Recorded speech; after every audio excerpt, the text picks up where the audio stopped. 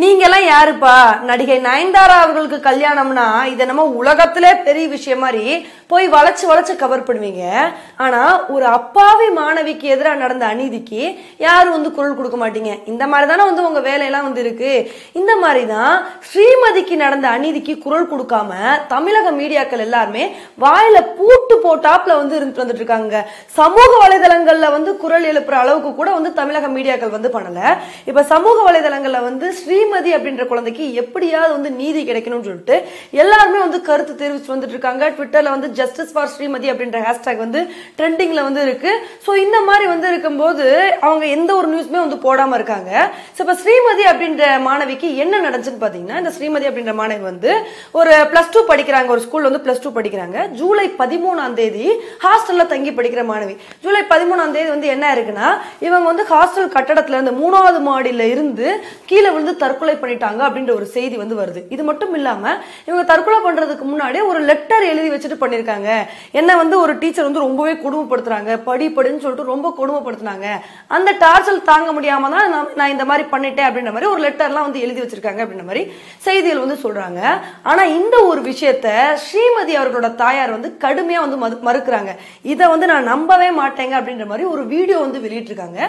அந்த ஒரு வீடியோ தான் மிகப்பெரிய பரபரப்பா வைரலா வந்து போய்கிட்டு இருக்கு. அதில் அவங்க என்ன சொல்லியிருக்காங்கன்னு பார்த்தீங்கன்னா நீங்களே சொல்லுங்க என்னோட குழந்தை வந்து தற்கொலை பண்ணிட்டாங்கன்னு சொல்றாங்க. அது எங்க மூணாவது மாடியிலேருந்து விழுந்து தற்கொலை பண்ணிட்டாங்கன்னு சொல்றாங்க.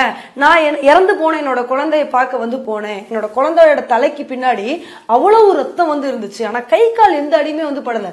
மூணாவது மாடியிலேருந்து விழுந்திருக்காங்க அப்படின்னா கை காலில் ஏதாவது அடிபட்டு இருக்கணுமா இல்லையா? எந்த விதமான அடியுமே இல்லை. சரி இதெல்லாம் கூட விடுங்க. என்னோட குழந்தை விழுந்த இடத்த போய் பார்க்கலான்னு போனா அங்க ஒரு சொட்டு ரத்தம் வந்து இல்லை. சோ என்ன நடந்துன்னு சொல்லிட்டு எனக்கே வந்து புரியல. சரி இதை பத்தி என்னோட குழந்தையோட ஃப்ரெண்ட்ஸ் கிட்ட தோழிகள் கிட்டயாவது விசாரிக்கலாம்னு சொல்லிட்டு விடுதி மாணவிகள்கிட்ட வந்து பேசுறதுக்கு பெர்மிஷன் கொடுங்கன்னு கேட்டா அதுவும் அவங்க கொடுக்க மாட்டேன்னு சொல்லிட்டாங்க. சரி எப்படியோ பெர்மிஷன் வாங்கி பார்க்க போனா இல்ல அவங்க லீவுன்னு சொல்லிட்டு ஊருக்கு போயிட்டாங்கன்னு சொல்லிட்டு மறுத்துட்டாங்க. இந்த மாதிரி எல்லாத்துக்குமே நாங்க பண்ற விஷயங்களுக்குலாம் வந்து முட்டுக்கட்டை போட்டுட்டே வந்திருந்தாங்க. இது வந்து தப்பு இல்லையா? இது மட்டும் இல்லாம அவங்களோட தாயார் வந்து இன்னும் ஒரு சில விஷயங்கள் வந்து சொல்லியிருக்காங்க. என்ன சொன்னாங்கன்னா இந்த விஷயம் நடந்தவுடனே அங்க உள்ள ஒரு சில பேர் என்ன சொன்னாங்கன்னா இது வந்து ஏழாவது விஷயங்க. இதுக்கு முன்னாடி இது மாதிரி ஆறு சம்பவங்கள் வந்து நடந்திருக்கு. உங்க பொண்ணு வந்து ஏழாவது ஆள் அப்படின்ற மாதிரி வந்து சொல்றாங்க. அப்ப பாருங்க இந்த விஷயத்துக்கு வந்து எதிராக நம்ம குரல் கொடுத்தே ஆகணும். இதுக்காண்டி வந்து நீங்க தான் எங்களுக்கு சப்போர்ட் பண்ணணும்னு சொல்லிட்டு ஸ்ரீமதி அவர்களோட தாயார் வந்து ரொம்பவே உருக்கமா வந்து பேசுறாங்க. நாங்களும் எவ்வளவோ வந்து போராடணும் இதை எதிர்த்து கம்ப்ளைண்ட் கொடுக்கறதுக்காண்டி நாங்க வந்து போனோம். ஆனா அங்க என்ன பண்ணிட்டாங்க? கம்ப்ளைண்ட் கொடுத்த எங்களை வந்து அப்படியே விரட்டி அடிக்கிறாங்க. போலீசார் வந்து அந்த அளவுக்கு வந்து விரட்டி அடிக்கிறாங்க. நான் என்னோட குழந்தையை இழந்துட்டு வந்து இன்னைக்கு நான் வந்து நிக்கிறேன். எனக்கு ஆறுதல் சொல்றதை விட்டுட்டு எனக்கு ஆறுதல் சொல்லணும் கூட பரவாயில்ல. நான் அவங்க கிட்ட அடி வாங்கினதான் வந்து மிச்சம். என்னை விரட்டி அடிக்கப்பட்டாதான் வந்து மிச்சம். அப்ப பாருங்க எந்த அளவுக்கு வந்து பண்றாங்கன்னு சொல்லிட்டு. இதே ஸ்கூல் பிரின்சிபல் இது சம்பந்தப்பட்டவங்க வந்து அரெஸ்ட் பண்ணிட்டேன்னு சொல்றாங்க. திடுதுப்புன்னு வந்து அவங்க வீட்டுல உடம்பு சரியில்லாம இருக்குன்னு சொல்றாங்க. இந்த மாதிரி பல புதிர்கள் வந்து இருக்கு. இதெல்லாம் வந்து வெளியே கொண்டு வரணும்னா எனக்கு வந்து உங்களோட சப்போர்ட் வந்து வேணும். இதை வந்து நீங்க நிறைய பேத்துக்கு வந்து ஷேர் பண்ணணும்னு சொல்லிட்டு உருக்கமா வந்து அந்த ஒரு வீடியோ வந்து முடிக்கிறாங்க. இப்ப இதை தொடர்ந்து கள்ளக்குறிச்சியில மிகப்பெரிய லெவல்ல வந்து போராட்டம் வந்து நடந்துட்டு வந்துட்டு இருக்கு. இந்த ஒரு ஸ்கூலுக்கு எதிராக நடவடிக்கை எடுத்தே தீரணுங்க. இது மாதிரி நிறைய விஷயங்கள் வந்து நடந்திருக்கு.